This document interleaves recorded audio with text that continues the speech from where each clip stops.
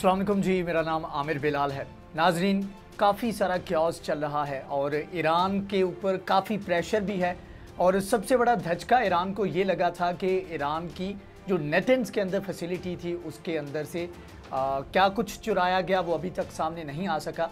आ, लेकिन ये था कि एक सिक्योरिटी पॉइंट ऑफ़ व्यू से एक बहुत बड़ा धचका था जिसके बाद 60 परसेंट इंडिचमेंट ईरान ने शुरू कर दी थी। अब नई अपडेट ये है कि ईरान की एक खासियत ये है कि ज़्यादा देर तक वो जो इसके दुश्मन हैं, उनको इंजॉय करने का मौका नहीं देता। तो बड़ी खबर यह है कि ईरान ने अपना नया एयर डिफेंस सिस्टम जो है, उसको लॉन्च कर दिया है। आज की वीडियो में इस डिटेल के ऊपर बात करेंगे कि इस सिस्टम की कैपेबिलिटीज़ क्या हैं, क्या कुछ ये कर सकता है और किस हद तक ये इसराइल के लिए बड़ा ख़तरा है और इसराइल ने इसके ऊपर क्या इकदाम शुरू कर दिए हैं, वो सारी चीज़ें मैं आपके सामने रखूँगा। इसके अलावा हसन रूहानी की जानब से भी एक नया बयान भी सामने आया है, वो भी आपके सामने मैं रखूँगा। और इसराइल और उसके अलावा जो यूक्रेन का तैयारा जो गिराया गया था, उसके ऊपर फाइनल रिपोर्ट आ चुकी है, उसके बारे में भी मैं आपको अपडेट करूँगा। सबसे पहले बात कर लेते हैं इसी डिफेंस सिस्टम की। Long range air defence system है और ये अभी रिसेंटली ईरान का जो आर्मी डे था उसको मनाया जा रहा था और परेड एक मुनद की गई थी।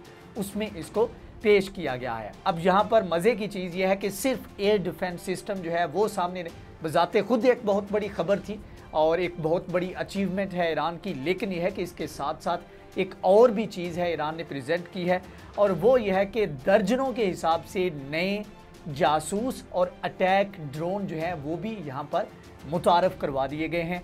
और इससे पहले ईरान के पास जो ड्रोन है, वो होसियों के पास भी काफ़ी मरतबा नज़र आए और सॉरी क्या नाम है, सऊदी अरब। सऊदी अरब के अगेंस्ट जो है, उनकी फैसिलिटीज़ के ऊपर अटैक करने में भी वो इस्तेमाल होते रहे हैं।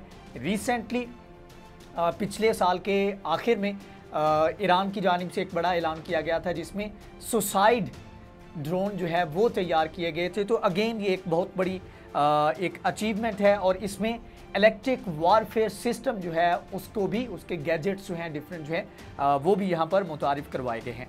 अब यहाँ पर अगर बात करें इसकी रेंज की तो इसराइल तक ये मार करने की सलाहियत रखता है। अपने डिफेंस की कैपेबिलिटीज़ हैं।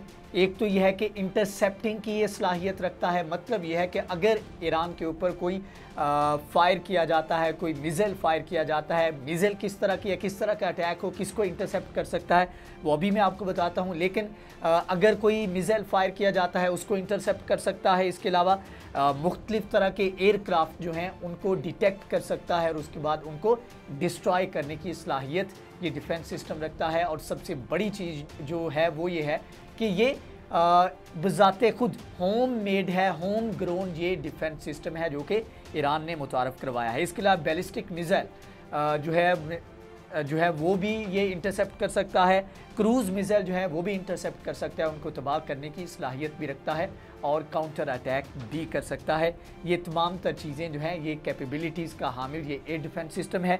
सिर्फ़ यही नहीं, अगर अचीवमेंट की बात की जाए, ये कितनी बड़ी खबर है ईरान के लिए, ये कितना बड़ा एक स्टेप फॉरवर्ड है ईरान के लिए।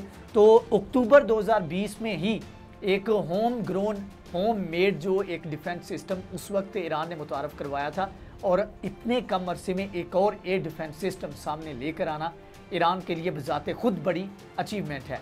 अगरचे पाबंदियों का नुकसान भी है, लेकिन यह है कि एक ज़्यादा बड़ा फ़ायदा ये है कि आप अपने ऊपर रिलाई करना शुरू कर देते हो, अपनी चीज़ें जो है उनको बनाना शुरू कर देते हो। जिस तरह तुर्की ने इस चीज़ को रियलाइज़ किया और तुर्की ने, तुर्की के ऊपर जब डिफेंस एक्सपोर्ट के हवाले से अमेरिका ने पाबंदी आयद की तो तुर्की ने यह फैसला किया और रजब तैयब और जुगा ने बड़े खुलकर कहा था कि हमारे लिए मौका है कि हम जो अपनी डिफेंस की कैपेबिलिटीज़ को सेल्फ रिलायंट करना चाहते हैं, उसके ऊपर काम कर रहे हैं तो हमारी ये पेस जो है, ये स्पीड जो है ये तेज़ हो जाएगी। तो हर जो क्राइसिस है, उसके अंदर एक अपॉर्चुनिटी आती है और ईरान जो है इस अपॉर्चुनिटी से फ़ायदा उठाने के लिए टाइम टू टाइम जो है अपना इसका इजहार करता रहता है। इसके अलावा इसी परेड के मौका पर हसन रूहानी की जानब से कहा गया। उन्होंने कहा कि ये हमारे दुश्मनों के लिए एक बड़ा पैगाम है कि हमारी जो कैपेबिलिटीज़ हैं, वो दिन ब दिन बढ़ती जा रही हैं और हमेशा से मतलब कि इससे पहले हमारी जो इस वक्त आर्मी प्रोफेशनल है इससे पहले इतनी प्रोफेशनल नहीं थी। हम दुनिया का मुकाबला करने के काबिल हैं और दुनिया का मुकाबला कर सकते हैं ऐसा कहना था हसन रूहानी की जानब से। इसके अलावा अगर दूसरी तरफ़ बात की जाए तो यूक्रेन का जो तैयारा गिराया था आ, वो भी ए जो कहा जाता है वो ये है कि एयर डिफेंस सिस्टम जो ईरान का था उसकी गलती थी। और एक थेरी ये भी है कि जो कि ज़्यादातर ममालिक कहते हैं कि ईरान ने जानबूझ कर गिराया था। अब यहाँ पर ये भी कह सकते हैं कि हो सकता है उसने अपना एयर डिफेंस जो है उसको ट्राई करने के लिए, उसकी चेकिंग के लिए उसने जो है ये सारा कुछ किया हो। लेकिन यह है कि जो ईरान की जानब से फाइनल रिपोर्ट इन्वेस्टिगेशन के ऊपर जारी की गई है, उसमें कहा गया है कि जो एयर डिफेंस ऑपरेटर था, उसकी गलती की वजह से ये यूक्रेन का जो तैयारा था, वो गिरा था। और इसको गलती तस्लीम किया है ईरान ने। और इससे पहले जब ये तैयारा गिराया गया, उस वक्त फौरी तौर पर ईरान की जानब से ये गलती तस्लीम कर ली गई थी। अब दूसरी तरफ़ अगर इसराइल की बात करें तो इसराइल ऐसे कह लें कि अगर थोड़ी सी भी हरकत करता है ईरान तो इसराइल आजकल बुखला जाता है और उसको काफ़ी ज़्यादा मसला होने लगता है। तो रिसेंटली उसको ख़तरा पैदा हुआ था कि यमन की तरफ़ से उसके ऊपर अटैक हो सकता है तो उसने काफ़ी ज़्यादा खुद को हाई अलर्ट पे कर लिया था और अपना डिफेंस सिस्टम जो है उसको भी एक्टिव किया था। लेकिन अगेन इसराइल के इस ऐलान के बाद इसराइल के एक नई जो अचीवमेंट है, इसके बाद सॉरी ईरान की इस अचीवमेंट के बाद इसराइल जो है वो काफ़ी एक्टिव हो गया है और उसने अपना जो डिफेंस सिस्टम है आयरन डोम थ्री और जितने भी आयरन डोम वन और टू भी है तो ये क्योंकि इसराइल का जो डिफेंस है वो थ्री लेयर्ड है। मतलब कि उसके पास इतनी कैपेबिलिटीज़ हैं कि थ्री लेयर्स में वो डिफेंस करने की सलाहियत रखता है। तो उसने आ, इसको भी एक्टिव कर दिया है क्योंकि उसको ख़तरा है कि ईरान जो है वो बदला लेने के लिए नेटेंस फैसिलिटी के ऊपर जो अटैक किया गया था, उसका बदला लेने के लिए उसके ऊपर अटैक ना कर दे, उसके किसी मेन सिटी के ऊपर अटैक ना कर दे। तो इस चीज़ का ख़तरा जो है बहरहाल इसराइल को है और ईरान जो है वो कभी भी कुछ भी कर सकता है प्रेशर डालने के लिए। लेकिन अगर रिसेंटली तमाम तर चीज़ों को देखा जाए तो ईरान चाहेगा कि मुजाकर में कोई पेशरफ हो और जो मुजाकर किए जा रहे हैं, उसमें से कोई अच्छी चीज़ निकले और उसको इस चीज़ का फ़ायदा हो। बहरहाल ये चीज़ें चल रही हैं इस पूरे रीजन में और ईरान इस वक्त मरकज़ निगाह बना हुआ है। ईरान की जो एक्टिविटीज़ हैं वो एक तरह से आ, उनको मैड भी कहा जा रहा है लेकिन अगेन ईरान जो ऑब्जेक्टिव हासिल करना चाहता है, बहरहाल वो अपने ऑब्जेक्टिव जो है, वो हासिल कर रहा है।